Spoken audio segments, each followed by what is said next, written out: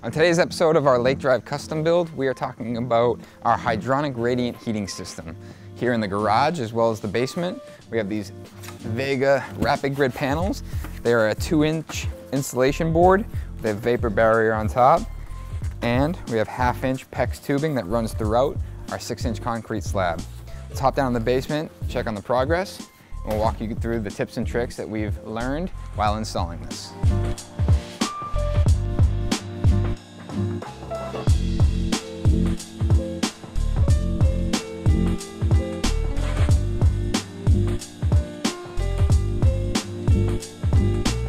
Installing the, the Viega Rapid Grid system here in the basement as well as the garage. Uh, it's a hydronic radiant system. I have Bob here. Uh, he's over here installing some sleeves on our tubing. Hey, now, Nick. uh, how's it going, Bob? Hey, good yourself? Good. So Bob's been with Viega for 30 years. Now you're here working with the plumber on site, uh, getting this system installed. We've already done the garage. We'll shoot up there in a minute. Uh, but what are you working on specifically here? The one thing about any type of PEX tubing, doesn't matter whose it is, is that anytime the plastic tubing enters or leaves the concrete, you want to make sure you sleeve it. It's called a hinge effect. If, if say, for example, if my arm's the piece of tubing and, and this part of my arm is the concrete and this part is up into the atmosphere, all the expansion and contraction of the plastic is going to move back and forth. So where's the stress point? It's going to be right along the concrete. So you want to sleeve that, basically controlling how much that moves. Right, so now it can only move this as wide as that sleeve. So you don't have to worry about that hinge effect really working like this and, and causing a wear point. So that's interesting because one one detail I had, I personally had issues with was, I'm gonna move some of this stuff over, but was our vapor barrier. So this right here, this is our, our concrete footing. And this, this rapid grid system, the yellow is actually a vapor barrier. All the panels interlock together, um, but we can't get that, mem or that membrane to run continuous up the wall. Now, a couple details that we had worked on, we talked about adding a vapor barrier underneath it. We talked about adding a vapor barrier on top of it, and we also talked about running a vapor barrier partially on it. The problem with doing anything on top of the system, to your point, that hinge effect, is if I have plastic here and concrete is on top, this might not get encased in concrete. So we're gonna run into that issue, right? Yeah, it's not as bad because it's on a it's on a flat, but you'll have you'll have concrete here, let's say, right here, and then no concrete here. So this will move freely underneath there in expansion and contraction. Right, and, and going, that's a, that's a warranty issue, technically from Viega. Technically, from Viega, it's a warranty issue. Anytime you enter or leave the concrete, you should sleeve the tubing to, to prevent that hinge effect. Right. So the reason we're sleeving here is because this is where they, they exit the slab and go to the manifold. Right, the manifold will be placed up here someplace, and we'll have these three circuits from the basement coming into here, and, and a couple circuits from the garage coming in from down, up above. I guess naturally I'm looking at this as one big room, one big room in the garage. I'm thinking one in, one out, but you have multiple circuits here. Well, yeah, in the garage, it's not as big a deal, but down here, where you're going to have equipment and everything, um, uh, that's the reason why we went left to right here. You're going to have this is completely underground. This part of the basement, All subterranean here. all subter, yep, uh, terranean up in here, and plus you're going to have computer equipment, which is going to generate heat. Right, we have a yeah, we have a uh, mechanical clo- couple mechanical closets here, stairwell over there. Is that why the spacing's different than over here? Correct. Yeah, we, we widened this out and we kept this a separate circuit. So if you find out at a later time, even though you only have one thermostat controlling these three circuits, Right. if you find out that it's too warm back here because of these computers and, and your equipment, that you can go to the manifold, it'll be marked, and you can, and they're true lineal balancing valves on the Viega manifold. So uh, every movement of that valve reduces flow, so it'll reduce BTU output. So here, we've tried to balance it a little bit on the spacing Yep. to help you out, but still, I think still you're gonna have to reduce it maybe to half flow So, back here. so beyond the thermostat, you actually have additional control because you have multiple Manual you're calling them balancing. circuits. Yep, yep. So out here, we're subterranean. We have mechanical room. We do need to keep, you know, maintain heat in the slab, but not as much as this area over here. Correct. Yeah. So working, we're working out to a walkout basement. So I, I'm seeing, are we 12 inches there? 12 inches there, And then where are we at here? Nine. nine inches here. Every one of these little squares are three inches. Okay. So we're getting closer to our walkout basement. This is where everything is going to be really cold in Right. the winter. Yep. So we want to make sure our heat is distributed more so here because we're not subterranean. Right, you'll leave this, this circuit, this particular circuit, which goes out to right about here. This one's gonna be running full throttle.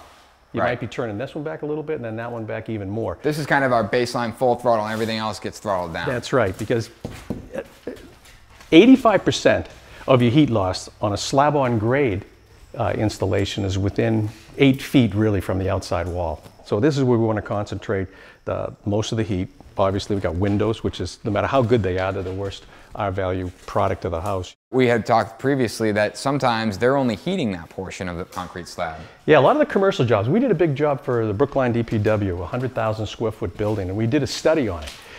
We took the cost of what it would have cost them to, to uh, insulate that whole building, and then, um, and then not only do the perimeter, like we mentioned, 10 feet in.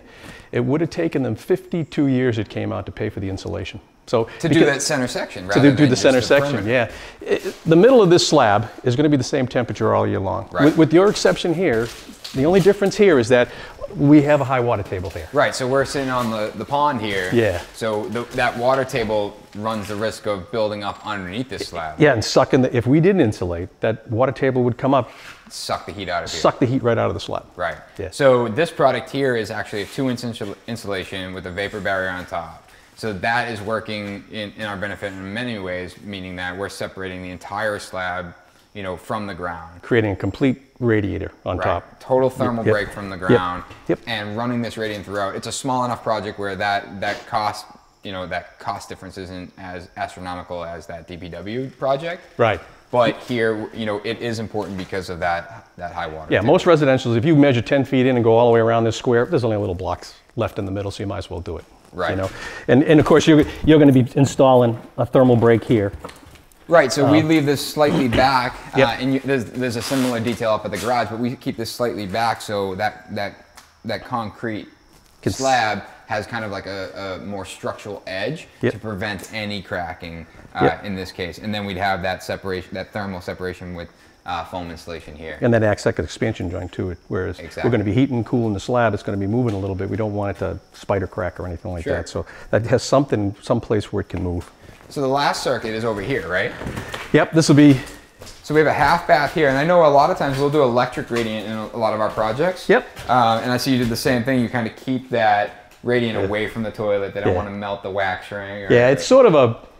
That really doesn't happen unless your system's going crazy. Right. Be- Because if it, this That's is only like full throttle plus some. Yeah, this is only going to run uh, 80, 90, 100 on a cold day. So that's not going to melt the wax. Right. It's going to get hotter there on a, uh, without air conditioning on a hot summer day. You know what I mean? So that's Uh, interesting. You started talking about the temperature. So 80 to 100 degrees is your typical water temperature in the. Well, the way they make houses now, you got the, the best floor system, two inches, Mm-hmm. R10. Um, you're going to probably blow in foam all everywhere else. Right. So most of this is below grade. Um, you're going to be able to heat this with really low water temperature. What's really going to dictate the water temperature is the garage. Right, and that's gonna. I mean, that's a total separate zone, but it is running off the same mechanical Yeah, equipment. higher heat loss out there. So that'll dictate the water temperature, and then we'll throttle back these circuits according to that. Gotcha. You know.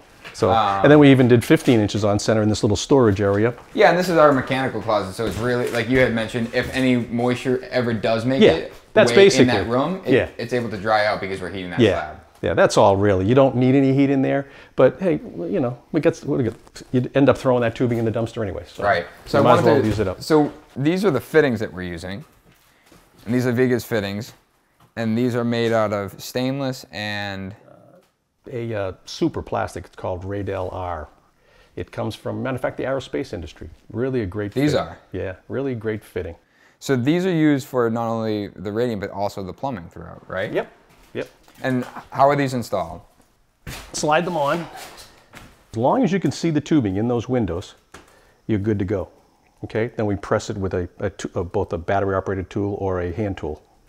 And that's it? that's it. It can be done down to minus four degrees, super fitting. And matter of fact, you- as I spun that, you see a little green dot? There's a technology built, built into all our fittings, whether it's the copper, the mega press, uh, the steel, the stainless, uh, it- all our fittings. Anytime you see that green dot, that denotes that if I was to forget to press a fitting, whether it was the copper or the or the PEX, okay, it wouldn't hold pressure, which is important. A lot of these fittings go together with a little Oh, right. So you- yeah, there's like it would hold enough pressure to make it maybe through a test or partially through. Then a it test. pops as people are living there, and, and uh, off you go. You got a got a mess. So what is that green dot? Dick? indicating? Indicates that there's a feature built into these fittings that if I forget to press this, it won't hold pressure. Gotcha. Okay, so uh, and, and that's like I said in all our fittings. Doesn't matter if it's the metal fittings or the or the poly fittings. Because a lot of the other fit, you guys deal with the Pro Press and, Yep. the, and the Mega Press for the gas. Yeah. Now, is that Vi- Viega's technology as well? Yep, all Viegas. Yep, that's oh. all. Viega technology. Why don't we take a run up to the garage and take a look at what, what's going on out there? Sure.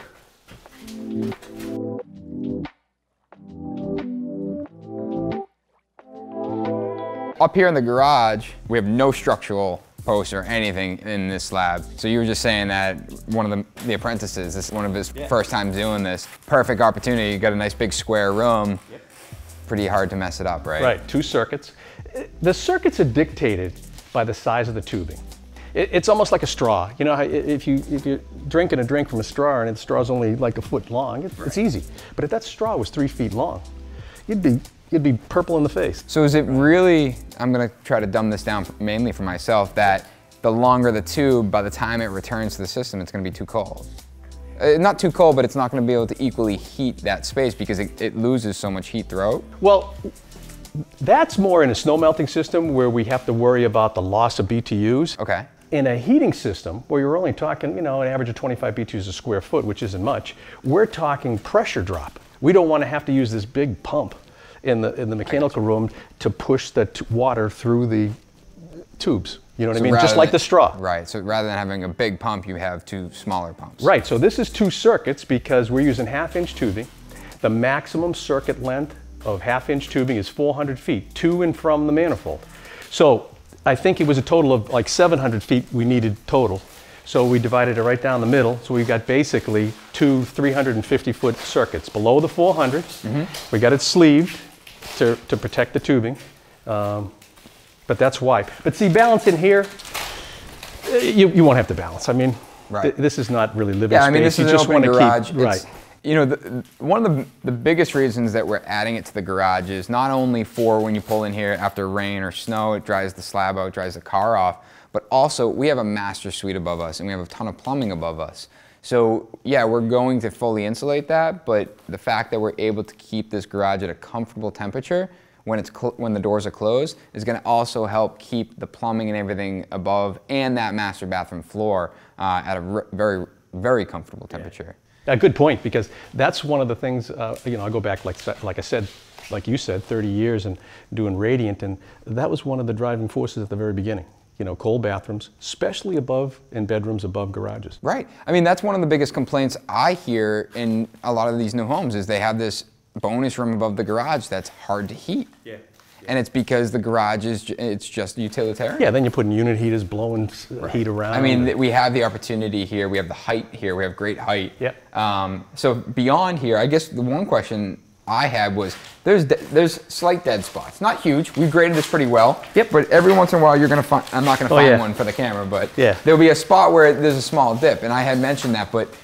This is this is relatively flexible. We're gonna have six inches of concrete on top of this stuff, Yeah. and it's going to conform to that that ground underneath. So as long as we're grading within, I mean, a Yeah. tolerable amount, Yep. this is going to conform to the ground below. the shape of the ground, right? Right. It'd Now, perfect. That's one reason why we'd like to use two-inch tube. Besides the, the fact of R value, and make sure that you, you check your codes, uh, because it changes from town to town. R10 is recommended by the state. Hasn't been mandated by the state Mm-hmm. yet, but it's recommended by the state for any slab on grade, grade application. So this is R10, but but if you were to use one inch and you walked around, and you had a little dip, crack, Crack, right. And all of a sudden these pieces are blowing all around the yard and stuff like that. and then that. if you get into something thicker, if it's if it's a solid, say if it was three four inches, it might not conform as much. Eh, yeah, a little more strength to it, right? Right. Because I know in the past we've also done two layers of two inch, and then they can kind of act independently and conform accordingly. Uh, I think the last important note was that we are doing a six inch slab in here, and we talked about adding a car post lift.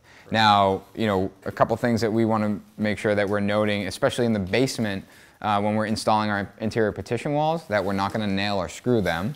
Uh, basically, when this is done, we don't want to penetrate the slab ever again. Right, as best we can mark, you can mark these out, the walls We'll change, you know that. everything, Yeah, but yeah. there there is no guarantee that when you drill or fire a Yeah. nail into it, you're not you're not going to hit it. You want to make sure it's under pressure at all times, And uh, While we pour the concrete? That's what I was doing downstairs when place you came in. I was getting it ready to put under pressure. And always, you know, because because if an accident happens while you're pouring, as long as the guy doesn't try to cover it up and keep moving, Right. um, and tells you, you can fix it with a coupling right there and continue the pour. So that's a, that's a, that's a really important note because if we're not, if you, if we wait, Oh. and then, yeah, then you're chipping up concrete. So you're, so this is gonna be actively under pressure until the slab is totally placed. Until we hang the manifold, which is Until we, gonna be- yeah. so you're just gonna Keep fill it it under pressure all the time. and cap it. Yep. Any accidents happen, tell the guys don't don't don't try to cover it up. We can fix it. Right. But if they cover it, and then um, you know, then it's much more of a problem to find. Understood. Awesome. Well, Bob, this was uh, awesome Yeah. information. Thanks, I Nick. appreciate it. All right.